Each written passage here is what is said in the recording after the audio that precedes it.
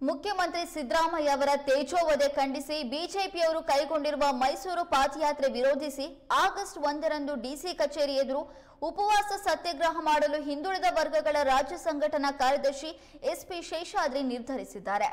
ಸಿದ್ದರಾಮಯ್ಯ ಕಳಂಕರಹಿತವಾಗಿದ್ದಾರೆ. ಎಲ್ಲಾ ವರ್ಗದ ಹಿತಕ್ಕಾಗಿ ಪಣ ತೊಟ್ಟಿದ್ದಾರೆ. ಆದರೆ ಇಂಥವರ ತೇಜೋವಧೆ ಮಾಡ್ತಾ ಇರುವಂತದ್ದು ಸರಿಯಲ್ಲ ಎಂದು ಹೇಳಿದರು. ರಾಜ್ಯ ಮುಖ್ಯಮಂತ್ರಿ ಆಗಿರ್ತಕ್ಕಂಥ ಶೆಟ್ಟರ್ ಇರ್ಬೋದು, ಅನೇಕ ಮುಖ್ಯಮಂತ್ರಿಗಳು ಇರ್ಬೋದು, ಅನೇಕ ಮಂತ್ರಿಗಳು ಇರ್ಬೋದು, ಶಾಸಕರು ಇರ್ಬೋದು, ಅವರೆಲ್ಲರೂ ಸಹ ಈ ಸಂದರ್ಭದಲ್ಲಿ ಅವ್ರ ಬಗ್ಗೆ ಮಾತಾಡಿದ್ದಾರೆ. ಅದು ನನ್ನದೊಂದು ಮಾತು. ಸನ್ಮಾನ್ಯ ಸಿದ್ದರಾಮಯ್ಯನವರು ಐದು ದಶಕಗಳ ಕಾಲ ಸಾರ್ವಜನಿಕ ಜೀವನದಲ್ಲಿ ನಡೆದುಕೊಂಡು ಬಾ, ಹಾದಿಯನ್ನು ಹಾಗೆ ನೋಡಿಕೊಂಡು ಹೋದರೆ ಬಹುಶಃ ಈ ದೇಶದಲ್ಲಿ ಅಂತಹ ಕಪ್ಪು ಚುಕ್ಕೆ ಇಲ್ಲದಂಥ ವ್ಯಕ್ತಿಯನ್ನು ಕಣ್ಣು, ಕಾಣುವುದು ಸಿದ್ದರಾಮಯ್ಯರಲ್ಲಿ ಮಾತ್ರ.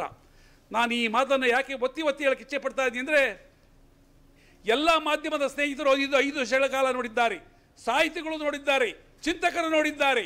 ಈ ಸಂದರ್ಭದಲ್ಲಿ ಚಿಂತನೆ ಮಾಡ್ತಕ್ಕಂಥ ಅನೇಕ ವರ್ಗದ ಜನ ಇದ್ದಾರೆ, ಬಲಿಷ್ಠ ಜನ, ಬಲಿಷ್ಠ ವರ್ಗಕ್ಕೆ ಸೇರಿದ ಜನ.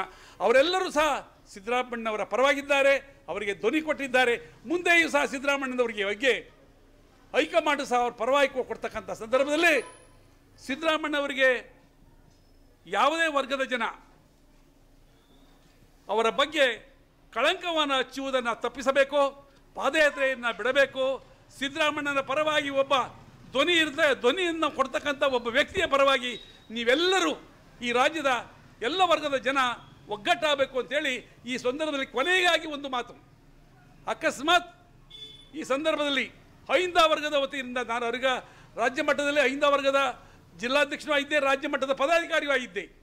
ಈ ಸಂದರ್ಭದಲ್ಲಿ ಮತ್ತು ಈ ಇಂದು ಸಹ ಒ ಬಿ ಸಿಯ ಗ್ರೂಪಿನ ರಾಜ್ಯ ಸಂಘಟನಾ ಕಾರ್ಯದರ್ಶಿ ಎಸ್ ಪಿ ಶೇಷಾದ್ರಿನೂ ಹೌದು ನಾನು. ಈ ಸಂದರ್ಭದಲ್ಲಿ ಒಂದು ಮಾತನ್ನು ನಾನು ಈ ರಾಜ್ಯದ ಜನತೆಗೆ ಈಗಾಗಲೇ ಹೇಳ್ತಾ ಇದ್ದೀನಿ. ಈ ರಾಜ್ಯದ ಜನ ಒಗ್ಗಟ್ಟಾಗಿ ಹೈಯಿಂದ ವತಿಯಿಂದ, ಹಿಂದುಳಿದ ವರ್ಗದ ವತಿಯಿಂದ, ಒ ಬಿ ಸಿ ವತಿಯಿಂದ, ಕರ್ನಾಟಕ ರಾಜ್ಯ ಪ್ರದೇಶ ಕುರುಬರ ಸಂಘದ ವತಿಯಿಂದ ಪ್ರತಿ ಜಿಲ್ಲೆಯಲ್ಲಿ, ಪ್ರತಿ ತಾಲೂಕಿನಲ್ಲಿ ರಾಜ್ಯ ಮಟ್ಟದಲ್ಲೂ ಸಹ ಬಹಿಷ್ಕಾರದ ಸಭೆಯನ್ನು, ಉಪವಾಸ ಸಭೆಯನ್ನು ಹಾಕಿಕೊಳ್ಳಬೇಕಾಗುತ್ತೆ. ಈ ಪ್ರತಿಭಟನೆ ನಿಲ್ಲಿಸಬೇಕು ಅಂತ ದಯಮಾಡಿ ನಾನು ಕೇಳ್ಕೊಳ್ತಾ ಇದ್ದೀನಿ. ಯಾಕೆ ಈ ಮಾತನ್ನು ಹೇಳ್ತಾ ಇದ್ದೀವಿ ಅಂದರೆ ನಮ್ಮ ಪ್ರಾಣ ಹೋದರೂ ಪರವಾಗಿಲ್ಲ ಸಿದ್ದರಾಮಣ್ಣನ ಪರವಾಗಿ ನಾವು ನಿಂತ್ಕೊಳ್ತೀವಿ.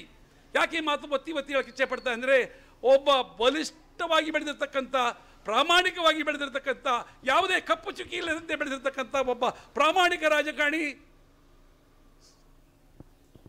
ಇವರಿಗೆ ನಾವೆಲ್ಲರೂ ಈ ರಾಜ್ಯದ ಪರವಾಗಿ ಧ್ವನಿಯನ್ನು ಕೊಡ್ತಕ್ಕಂಥ ಸಂದರ್ಭದಲ್ಲಿ ಹೈಯಿಂದ ಹಿಂದುಳಿದ ವರ್ಗ, ಒ ಬಿ ಎಲ್ಲರೂ ಸೇರಿ ವಿಧಾನಸೌಧದ ಮುಂಭಾಗದಿರ್ಬೋದು ರಾಜ್ಯದ ಪ್ರಮುಖ ಸ್ಥಳದಲ್ಲಿರ್ಬೋದು, ಜಿಲ್ಲಾ ಮಟ್ಟದ ಕೇಂದ್ರಗಳಲ್ಲಿ, ತಾಲೂಕು ಮಟ್ಟದ ಕೇಂದ್ರಗಳಲ್ಲಿ ಬಹಿಷ್ಕಾರ ಸಭೆಗಳನ್ನು ಉಪವಾಸ ಸಭೆಗಳನ್ನು ಹಮ್ಮಿಕೊಳ್ಳಲಾಗುತ್ತೆ ಅನ್ನೋ ಮಾಡೋದನ್ನು ಒತ್ತಿ ಒತ್ತಿ ಹೇಳಿ ನನ್ನ ಮಾತು ಮುಗಿಸ್ತೇನೆ.